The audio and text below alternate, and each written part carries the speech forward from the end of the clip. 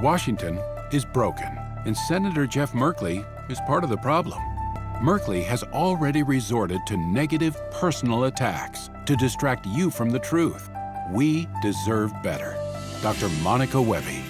I'm going to the U.S. Senate to try to change things, to make things better, to stop this gridlock and get back to the work of the people, what the senators are supposed to be doing. People ask me, why would I go to the U.S. Senate? I'm doing something right now that I love and that makes a difference every day. I think we can change things. I have seen it over and over in my practice and what I do. I see little children and families overcoming tremendous odds.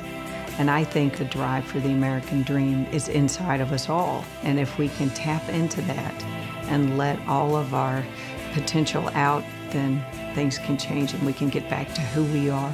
I'm Dr. Monica Wehby, and I approve this message.